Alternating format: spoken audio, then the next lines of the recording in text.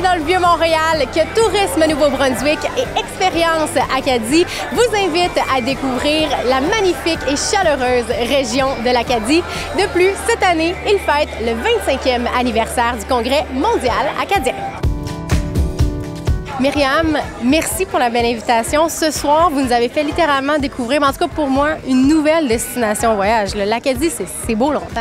Ben, C'était justement d'inviter euh, des influenceurs, des blogueurs, euh, des journalistes, euh, des photographes pour leur faire découvrir l'Acadie d'aujourd'hui. C'est pour ça qu'on a vu Marjo Thériault avec Gabriel Robichaud, qui est un poète très connu, très prisé. On a bien sûr le Congrès mondial acadien qui s'en vient au mois d'août, du 10 au 24 août, qui se déroulera à l'île du Prince-Édouard et au Nouveau-Brunswick.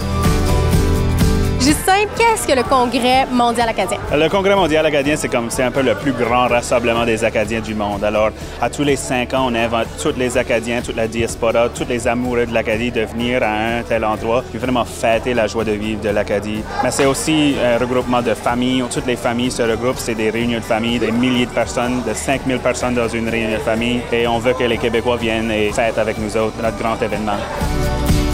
On a eu également la chance de connaître un peu plus l'histoire du Nouveau-Brunswick. Est-ce que tu penses, selon toi, que les Québécois sont pas au courant de cette belle histoire-là et surtout de la belle région qu'est l'Acadie? Bien, je pense qu'il y a des rapprochements à faire entre nos deux communautés. Je pense qu'on a plein de choses à partager et en commun, notamment l'histoire francophone, certainement. Mais je pense que les Québécois sont peut-être pas conscients qu'il y a 1,3 million d'entre eux qui sont d'origine acadienne. Donc ça, je pense que c'est quelque chose qui est intéressant. Et quand on parle du Congrès mondial acadien, c'est justement, on veut élargir l'invitation à tout le monde pour dire, oui, certainement, c'est une occasion de réunir la diaspora acadienne, mais c'est aussi important pour que les gens peut-être reconnectent avec leur identité ou reconnectent avec leurs racines faut parler absolument de la gastronomie en Acadie. Sincèrement, on a été très, très chanceux ce soir, mais faites-nous saliver un peu. Ah, ça nous donne l'eau à la bouche. On parle de homard, qui est le roi de la mer.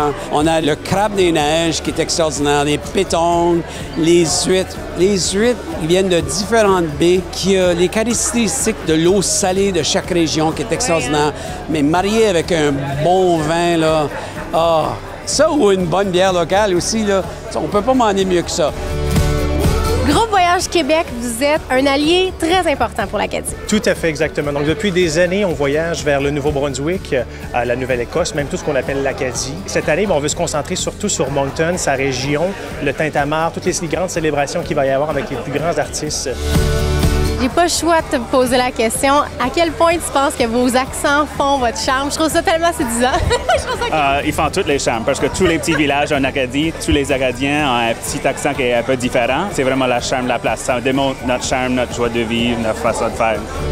Tous ces produits-là qu'on a pu faire découvrir aux gens ce soir, c'est notre façon de dire venez nous voir, venez visiter la destination acadienne.